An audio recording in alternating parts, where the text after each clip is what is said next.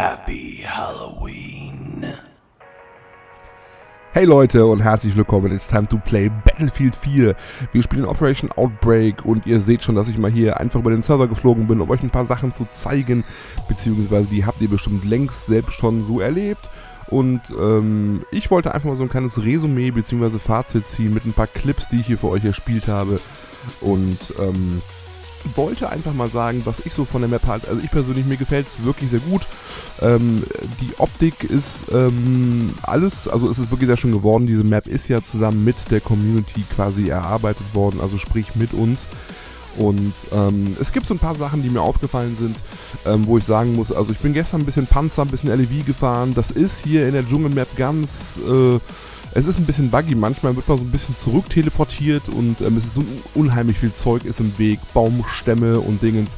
Es geht trotzdem ganz gut, ähm, nur manchmal ist es echt ein bisschen nervig, wenn man überall hängen geblieben ist und ähm, ja, da war es dann schon ein bisschen, ähm, bisschen nervig. Aber ansonsten gefällt mir die Map sehr, sehr gut. Es gibt ja immer so einen Punkt, wo man, also es gibt ja immer so verschiedene Flaggen, ähm, wo sich immer, wo mal viel drum gekämpft wird. Und ich glaube, hier ist das irgendwie Flagge B.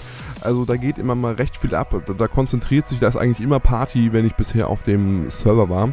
Und ähm, das hat ähm, äh, Spaß gemacht. Man kann ja unten durch diese Tunnel laufen, man kann oben rumlaufen. Von daher war da schon so ein Punkt, wo sich halt immer viel konzentriert hat.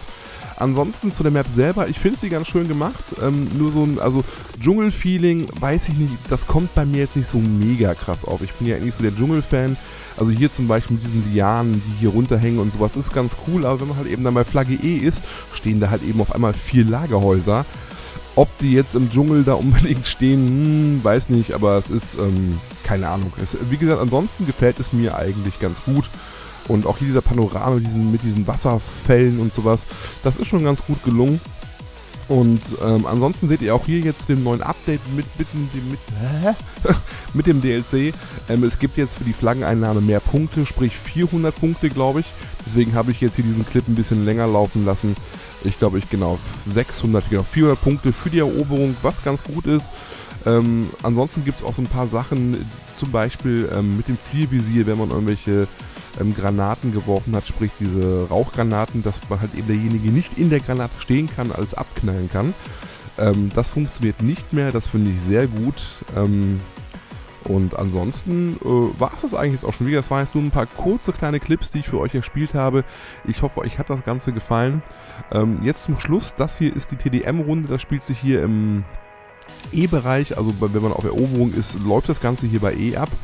Und ähm, ich hoffe, ich kann noch ein paar Clips in der Hinsicht erspielen.